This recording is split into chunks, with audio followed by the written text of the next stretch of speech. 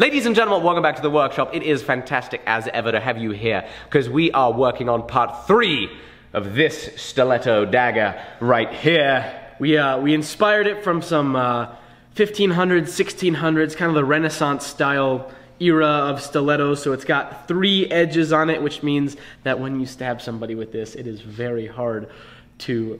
No, I shouldn't talk about that, should I? That's a bad idea.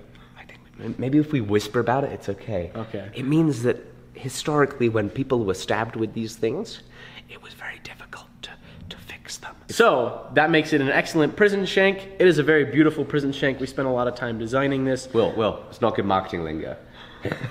it is a very exquisite prison shank. Ah, Got to yes. use the exquisite word. Right. Very Right. good. There we go. good stuff. We've done a lot of lathe work on this. We got the uh, the Monarch lathe up and running finally, and we we gave it a little bit of a workout with We did thing. indeed. Almost every part on this, aside, uh, no, literally every part on this piece, including the blade, the flower elements, the pieces of Damascus steel that were turned, and this piece of bronze that has a whole bunch of beautiful diamonds in it. Every part in here had to get put on the lathe. Anyway, we have a lot of work to do on it today. But before we jump into today's video, I would like to thank today's sponsor, which is NordVPN. NordVPN is all about keeping you safe while it is that you're on the internet, and they do that by having thousands of servers in over 61 countries in the world that act as an intermediary between you and the websites you browse. NordVPN is going to be giving you 75% of a three-year plan when you go to nordvpn.com forward slash forge, and they're going to be giving you an extra month for free when you use code FORGE at checkout. So be sure to check them out at the end of the video. Thank you, Nord, for being a longtime sponsor of the show and keeping us safe while we are on the internet. Thank you guys for being here. Let's talk about some of the design issues we got on this bad boy. Now, if you're following on from part two, you'll remember me talking about one of the problems that I had with this design in that we're going bronze, steel, bronze, steel, bronze, bronze, steel, as opposed to steel, bronze, steel, bronze, steel, bronze, steel, bronze. I feel like we have a little bit too much bronze in this one area and we need to break it up. And that's where this piece that I've been holding in my hands for the last couple of minutes comes into play. This is a little offcut of the Damascus that was used not only for the blade, but also for these Damascus elements in the handle piece. And my plan is to turn this piece of Damascus into a spacer that goes between our flower element and our guard or quillon element, just to break up the flow of that design, hopefully make it look a little more balanced to the eye. So that is going to be my task to start off with. Now, as you saw in the last episodes, we have this little small sandblasting unit, and the plan is to use the sandblaster for the final finish on these parts. Do you want to run through a little bit of the idea here and what it is that you're going to do? So this idea came from Niels Vandenberg, Black Dragon Forge, who had, we designed this dagger with, and who was just here in episodes one and two. Uh, he does this on a lot of his bronze fittings. He sandblasts it down, and then takes a steel blue and completely blackens it out, and then can actually relieve some of that blackening with a little bit of steel wool. So you've got black with highlights of bronze running through it. Kind of gives it a little extra depth, some new colors and all of that. Exactly. It looks really, really nice. So after I've gotten finished doing the final little touches up on these bronze pieces, I'm going to sandblast them down and then try to get a nice even finish with this super blue from Birchwood Casey. So let's unscrew it and get to it.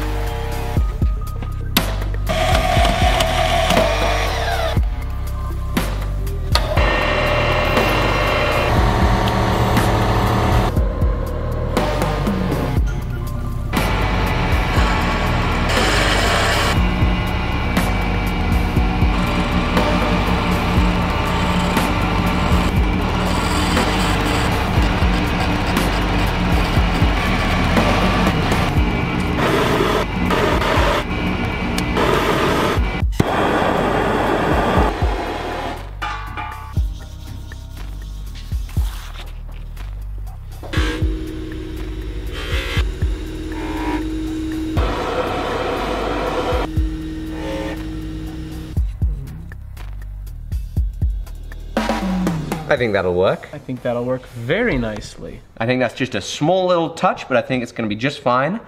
And it now means that we actually have the same width on this flat spot as we do on this flat spot. I think it lines it up well, divides it up, gives it a little better balance of color.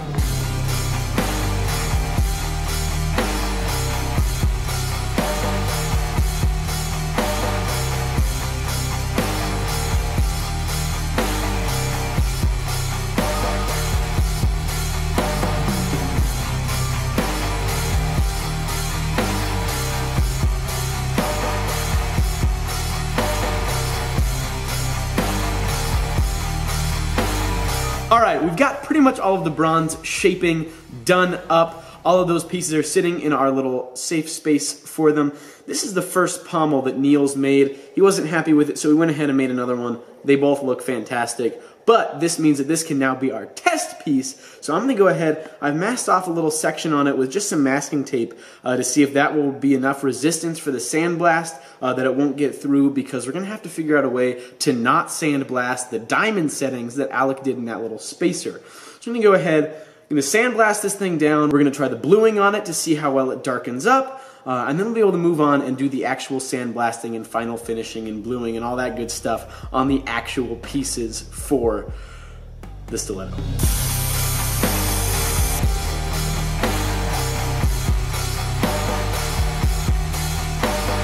So we've got some ultra fine quadruple aught steel wool. That's what we'll use to bring it back a little bit. Ooh, there it is. Oh, let's go show Alec. That's pretty cool. Mm, we can do all kinds That of is stuff. special. Think about how the diamonds are gonna look shiny and then dark like that. Oh my gosh, that's gonna be crazy. That's super cool. so good. Nice!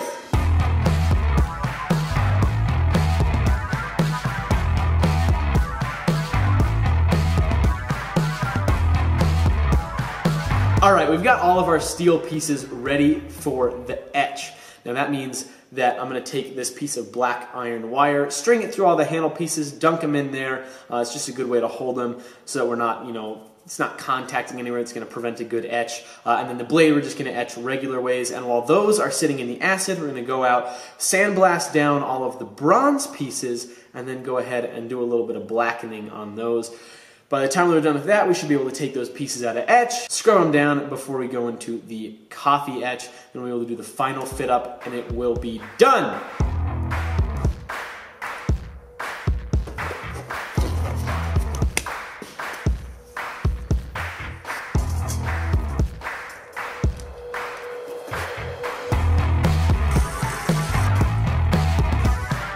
Good. We're good? It's good.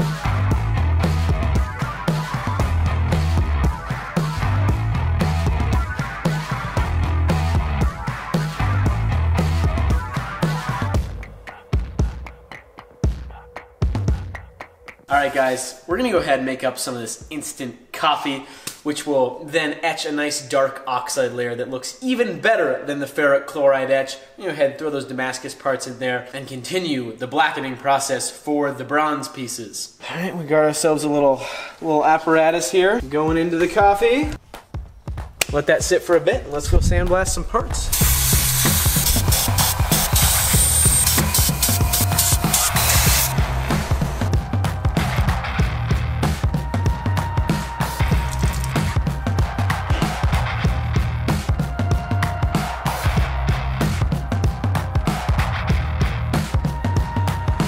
Now you remember the piece that I set diamonds in, that spacer piece? Well, after it was masked, Will sandblasted the unmasked surfaces and gave them to patina. Now of course, that patina line, there was no way that we were gonna mask it perfectly and just get this gorgeous straight patina line. We knew that wasn't gonna happen. And so, you will note, I have diamonds, I have a cut either side of the diamond to reflect light in. But what we're going to do now is either side of that groove, we are going to put another groove. Now that means that we have a certain distance to account for the fudging and the inevitable lack of accuracy in the patinaing process. It is also going to mean that when we look straight down, we have another dark line running down here. A little more detail, a little more interest. It's going to look quite good. It's going to be relatively simple. I have 12 cuts to make, and I'm going to use a 120 degree graver.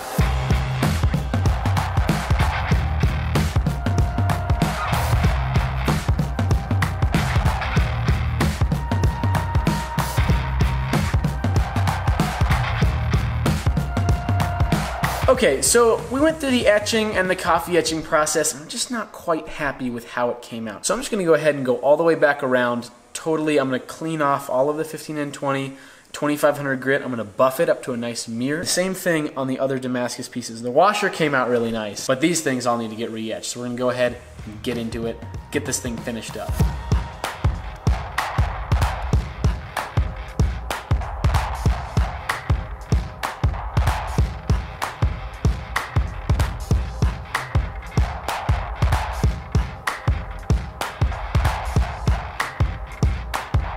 Well, I am just thrilled as to how that second etch has come out. That steel looks Wait, wait, go- wait, wait, wait. Are we not going to talk about the fact that we need to re-etch again?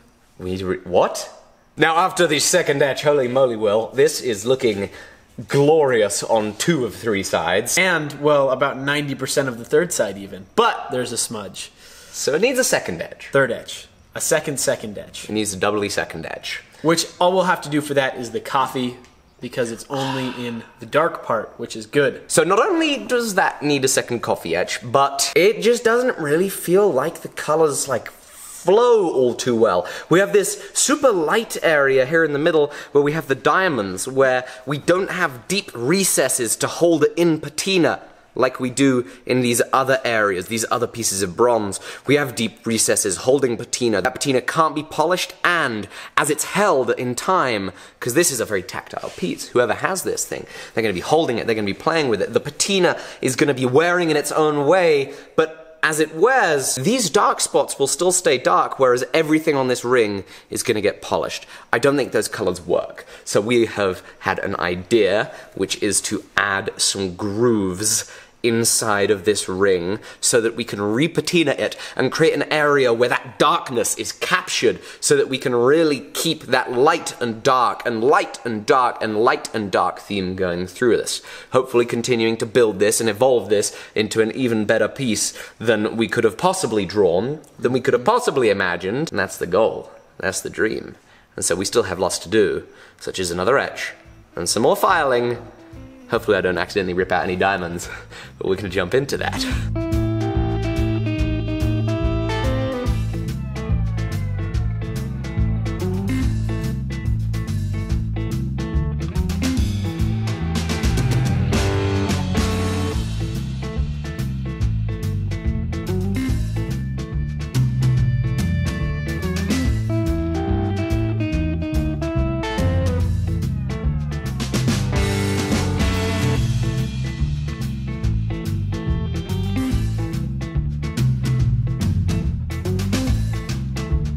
I have cut with the graver grooves, filed the grooves, stippled them so that we didn't have to come back in and re-sandblast that area, and I have refinished it under the microscope using some of that cold blue, and uh, there's still a lot of shmoo in there from the Q-tip, the earbud, like where it's caught in the stippling, and I don't know how thrilled I am with the color anyway. So here's what we're gonna do. We're gonna take this apart. We're gonna put this piece up to it. We're gonna see how it looks, and uh, we're gonna have to work out a plan here. So what it is that I'm nervous about is we have a very dark piece emerging. It's looking super cool with that dark theme, and I am worried that we are going to be pushing a little too far in the wrong direction with the amount of color that this spacer has here. So this is, the idea here is we maybe touch up the high spots a little bit, you know? Okay, a little bit of buffing on those high spots. Makes the piece much lighter. It's giving it a lot more contrast in the lows.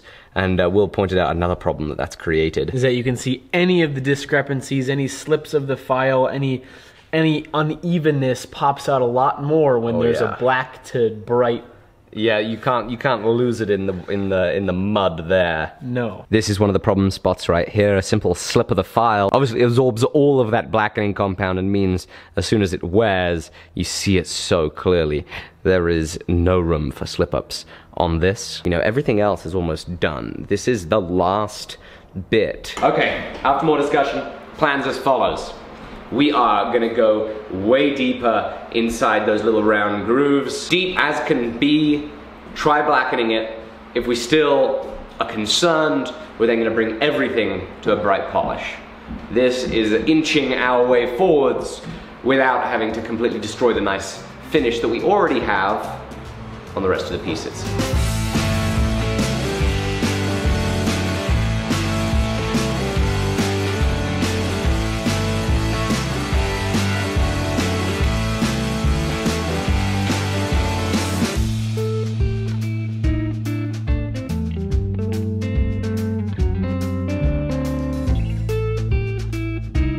Okay, so I'm down from the upstairs, and I think it looks Oh, yeah. much better having that real wide groove on there.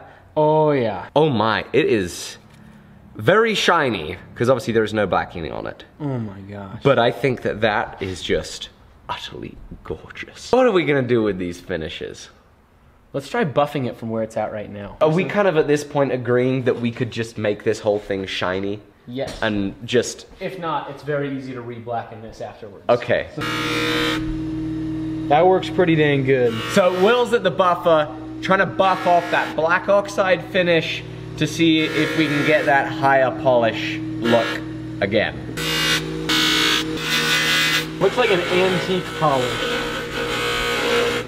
Oh, that's actually kind of cool. Oh, Oh, I see what you're talking about. 'Cause you- you from got- the remnants of the sandblasting and the patinaing. It's like an old mirror polish, you know? Now, we have a new toy in the workshop, which I feel very embarrassed for not having bought earlier. It is a Vacuum steam, cleaner. Oh. steam cleaner. Steam. We have a steam cleaner. Steam cleaners are used for cleaning off buffing compound and just cleaning things really well. The question is, what does the steam cleaner do to this from here?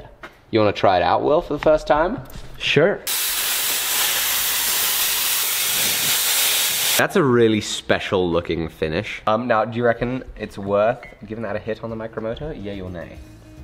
Nay. I Leave like it for this, I like see the- how the other pieces look Yeah. after some buffing.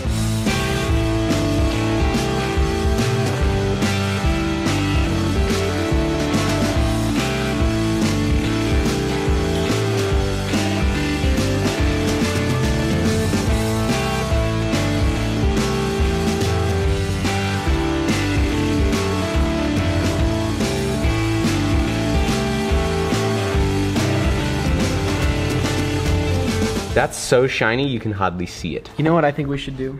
Put it together. I think we should put it together. I think that's a grand idea. Oh yes, I think that looks shiny's better. shiny's better.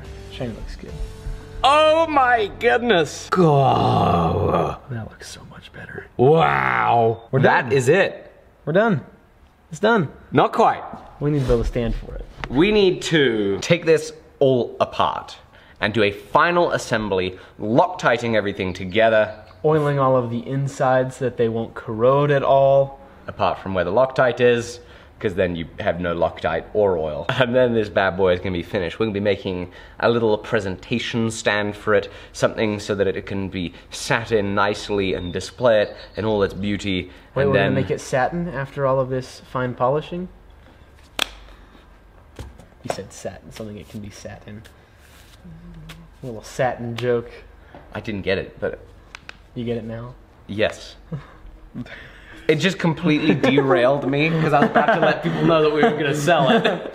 Speaking of, we're gonna sell it. after we make a little presentation stand for it so that it can be enjoyed while it is sat in there, we are indeed going to be ready to sell this piece.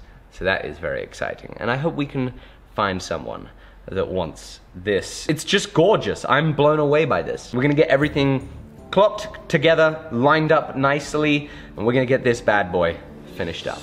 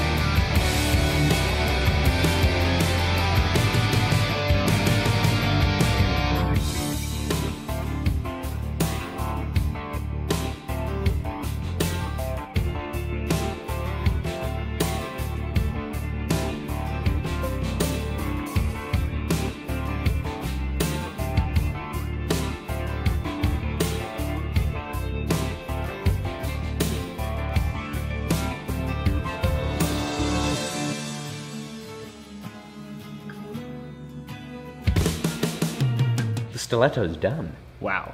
Three parts. That was nuts. We have made one of the most glorious pieces. I mean, I certainly know I look at this stiletto and I mean, I'm thinking to myself, this is one of the coolest things I've ever made. Absolutely. It's it's it's pretty fun to hold too. It I mean, it's got some it's got some gravity to it. And it just feels good. I, that was such, such a thrill. Yeah. So exciting to have it done. And, you know, we want to again give a big thank you to our friends Niels and Josh, Black Dragon Forge and Josh Smith's Knives. You know, they were here hanging out and the timing just worked out great. And, you know, this is one of the great things about the blade smithing community is, you know, people just like to hang out, have a good time, and kind of just share knowledge. It was so much mm-hmm. fun. So thank you, Niels and Josh. Thank you guys for watching this. We are going to be selling this dagger, so be sure to check that out. Will, thank you again for your help. As we round off this great series, I'm going to thank today's sponsor, which has been NordVPN. NordVPN is all about keeping you safe while it is that you're on the internet.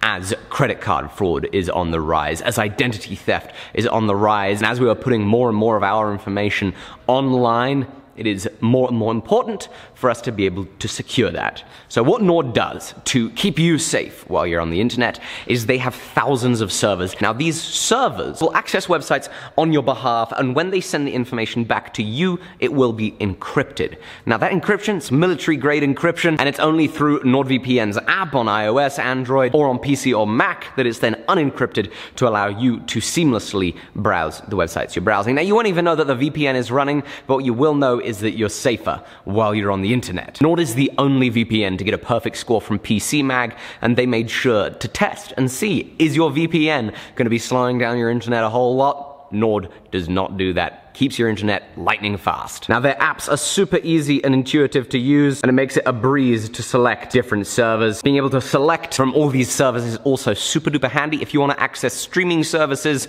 not available in your country. Say you're traveling, say there's a show that you want to watch that's only available somewhere else. You can have up to six connections at once so you and your family can enjoy this security too and it is risk-free because there's a 30-day money-back guarantee. So be sure to hit my link in the description, nordvpn.com forward slash forge. You're going to be getting 75% off a three-year plan as well as one month for free when you use code FORGE at checkout. Thank you, Nord, for being a long-time sponsor of the show, keeping me safe on the internet, keeping you guys safe on the internet. Thank you guys for following along with this just phenomenal journey. It has been so much fun. Remember, if you want to own just one gorgeous piece of work. This stiletto is up for grabs. Thank you all so much. See you on the next one. Bye bye.